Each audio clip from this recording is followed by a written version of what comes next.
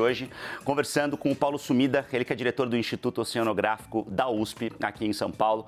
Primeiro, quero agradecer, professor, por atender a gente, ajudar a gente hum, a, não sei se esclarecer, né, porque é, é, é bem difícil mesmo, né, a gente saber ao certo do que se trata essa história toda. A gente só sabe que cinco pessoas já sabidamente perderam a vida e o que aconteceu lá embaixo, é, hum, em termos de pressão, é algo completamente trágico, né? É, boa, boa noite, Felipe. É um prazer estar aqui é, falando com vocês de um assunto não tão agradável, né? Afinal de contas, envolve uh, a morte da, de, de, várias pessoas, mas realmente é, na, naquela profundidade seria muito pouco provável que eu encontrar eles vivos ainda. Né? Eu acredito que o submersível tenha é, colapsado, né? Logo, logo que ele desceu, quando ele perdeu o contato, eu acho que teve a catástrofe, a falha catastrófica e deve ter matado instantaneamente todos que estavam a bordo. É, a empresa é, saiu com um navio do Canadá, né, professor, da costa, e foi até a região onde estão os destroços do Titanic. A gente está falando de uma região já em águas internacionais, né? Então, quer dizer, não é um lugar que pertence, teoricamente, ao Canadá, aos Estados Unidos ou a qualquer outro país. Estava é, em alto mar, como a gente fala, né? E aí, a partir dali, esse pequeno submarino, né? O pessoal está chamando popularmente de submarino, mas tecnicamente, o senhor já disse, é um submersível, né? Ele é como se ele se deslocasse ali do, do navio e descesse até encontrar os destroços do, do Titanic. Só que quanto mais a gente desce, mais a pressão aumenta. Explica pra gente o que, que é a tal da pressão, professor, pra gente que é leigo nessa história, porque a gente está falando de uma profundidade de quase 4 quilômetros. Eu já mergulhei algumas vezes na minha vida e eu sempre faço aqueles mergulhos bem amadores, assim, a 10 metros de profundidade. Eu fico impressionado quanta pressão eu sinto no ouvido, no corpo, mesmo a 10 metros de profundidade. Imagina a gente chegar a, a 3.800 metros, uma coisa assim absurda. Explica o que, que é essa tal dessa pressão e por que, que ela é tão perigosa, o que, que pode ter acontecido nesse caso, né?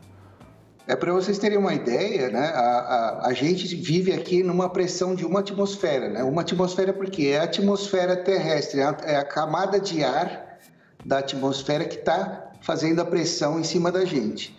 Quando a gente vai para o mar, a densidade né, do mar é muito maior, a água é mais densa que o ar e é mais pesada que o ar. Então, a cada 10 metros que eu desço no mar, aumenta uma atmosfera. Isso quer dizer que a 10 metros eu tenho duas atmosferas, que é a atmosfera da, da atmosfera terrestre e mais uma atmosfera que aumentou por 10 metros de coluna d'água.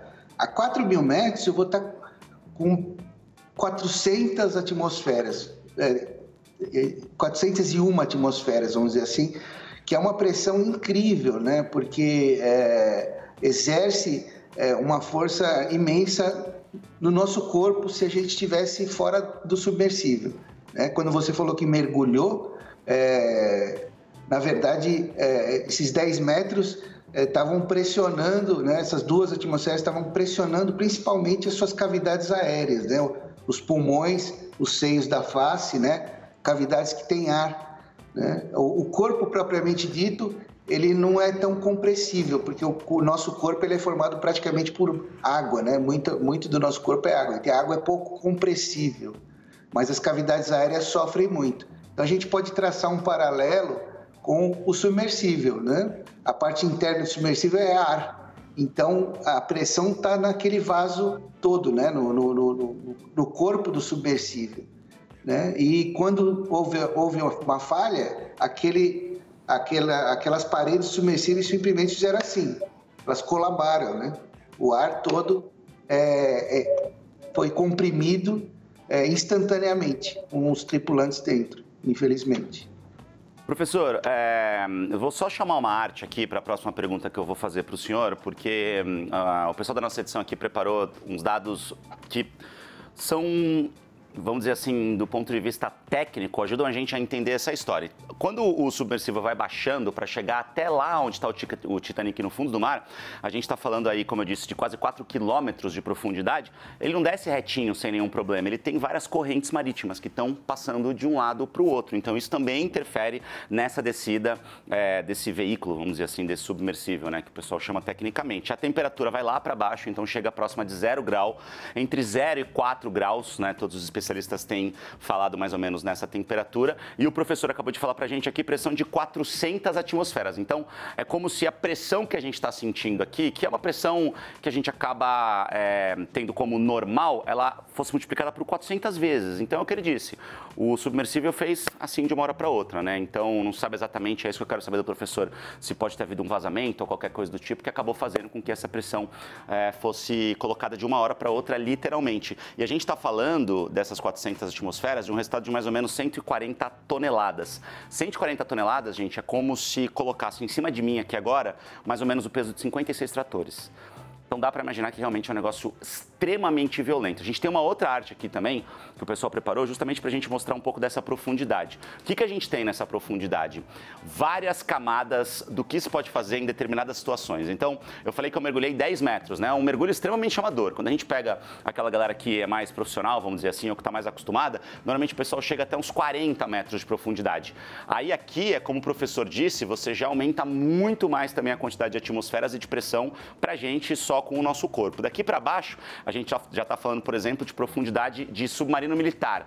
Se tem uma guerra, um submarino de um determinado exército vai lá e chega até uma profundidade de aproximadamente 300 metros. Até mil metros de profundidade é onde a luz solar chega. Daqui para baixo, está tudo escuro, não tem mais iluminação nenhuma. E de mil até 3.800 é onde esse submersível estava indo, estava a caminho. Ele perdeu comunicação ali mais ou menos depois de uma hora e quarenta com esse navio que estava na superfície, mas é, pelo tempo que ele acabou levando, ele já devia estar tá bem próximo do Titanic, né? Então, ali embaixo, naquele momento, onde a gente vê essa pressão sendo muito, muito, muito aumentada. Quero voltar agora aqui a falar então com o professor para tentar entender quais poderiam ser as hipóteses, professor, né? Se a gente está falando de uma pressão tão grande que é feita instantaneamente, a gente estava falando ali em milésimos de segundos, né? Ouvi alguns especialistas que disseram isso. Isso pode ser causado por vazamento, isso pode ser causado por erro operacional, por manobra. O que, que pode acontecer nesse caso? Particularmente, eu acredito que foi uma falha no casco, é, uma falha de vedação ou então uma falha é, da estrutural né, da, da, do casco. Os submersíveis de pesquisa, geralmente, eles têm um formato esférico, né? porque a esfera, ela é, ela, a pressão fica distribuída mais homogeneamente na esfera. Né? E esse submersível tinha formato de cápsula, né? de como se fosse um comprimido, daquelas aqueles comprimidos que tem que abrem, né? que tem coisas dentro. E, e, eu estranhei muito ele ter esse formato e ainda assim conseguir mergulhar numa profundidade tão alta. Então, talvez, né, hipoteticamente falando, talvez é, com os vários mergulhos que ele fez a profundidades grandes, esse casco pode ter sofrido deformações até que uma hora ele chegou numa profundidade crítica novamente e, e talvez tenha sofrido um dano estrutural é, catastrófico, é, infelizmente matando os passageiros. Professor, é, a gente também tem ouvido falar muito em implosão e não em explosão. Qual que é a diferença técnica? Explica pra gente. Inclusive tem uma reportagem no próprio site da CNN falando que, segundo um ex-funcionário da Ocean Gate, o casco desse, desse submersível, ele era mais fino do que era recomendado. Então, explica pra gente por que, que a implosão acontece e não uma explosão nesse caso. No caso da explosão, os gases estão expandindo, né? É, formando um volume maior do que ele era quando é, é, é aconteceu a explosão. No caso da implosão, a pressão externa é tão grande né, que ela exerce essa força sobre a, essa cavidade aérea, no caso, é, protegido pelo casco do submersível. Então ela aperta, ela esmaga é, é, esse, esse, esse, esse casco. A mesma coisa no mergulho, no mergulho recreativo que você falou. Quando a gente mergulha, o nosso pulmão ele é apertado, ele diminui de volume. Ele vai ficando pequeno, pequeno, pequeno, né? Por causa da pressão externa. Então, se o casco não aguenta, ele tende a implodir, né? É, por, por, por causa justamente da extrema pressão, como você mesmo citou agora, de 400 atmosferas. Professor, é, a gente está falando de águas internacionais, onde teoricamente você não tem é, jurisdição de nenhuma lei. Nenhum uhum. país é dono daquela, daquela área onde, onde aconteceu Sim. esse incidente. É, dito isso, de quem é essa responsabilidade? Porque a gente está falando de uma empresa privada que fazia esse tipo de mergulho. É, não foi a primeira vez que isso aconteceu, ele já tinha feito, é, essa empresa Ocean Gate, isso diversas outras vezes. Esse submersível é, era já um produto, de fato, tido como turismo de aventura pela empresa. É uma responsabilidade da empresa, é uma responsabilidade, de repente, da Guarda Costeira, que apesar de não estar tá na jurisdição dela, deveria ficar mais de olho no que essa empresa estava fazendo, porque, afinal de contas, estava levando pessoas, estava levando civis para condições de risco. É, essa, essa empresa deveria ter sido mais fiscalizada por parte do governo americano, do governo canadense, que seja? Olha, eu acho que o principal, é, o principal responsável realmente é a empresa, né? Mas eu acho que talvez isso seja um divisor de águas na, na legislação americana, canadense, é, que talvez passe então a exigir certificados e exigir é, certificações da embarcação, né, dos do submersíveis, né, das empresas que fazem esse tipo de turismo. É, no momento, acho que isso não há, e, e então provavelmente isso talvez vai ser um gatilho para que se comece a fazer esse tipo de certificação. Agora, professor, quando o senhor fala em divisor de águas, é, eu, eu, volto à pergunta e, e, peço até desculpas pela ignorância, porque hum, eu tenho muita dificuldade de compreender como que alguém vai conseguir legislar sobre algo que não tem dono. Então, o senhor acha que isso pode é, dar início a uma discussão até internacional de, de como regular esse tipo de atividade, esse tipo de turismo, de como ficar um pouco mais de olho? Porque, repito, a gente está colocando pessoas em situação de extremo risco e acho que a prova maior a gente acabou de ter, né?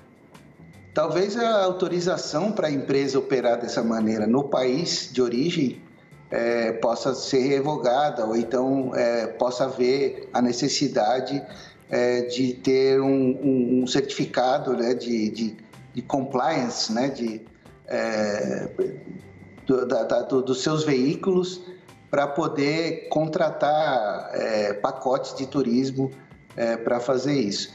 Em termos internacionais, eu acho difícil que haja alguma legislação. Né? As águas além da jurisdição nacional, como a gente chama, né, é, elas popularmente é chamado de área, né, essa área né, do mar que não tem legislação por nenhum país, ela é, é ela tem alguns órgãos que é, têm leis é, para certas atividades, como mineração, né, a pesca, né, então que controlam um pouco.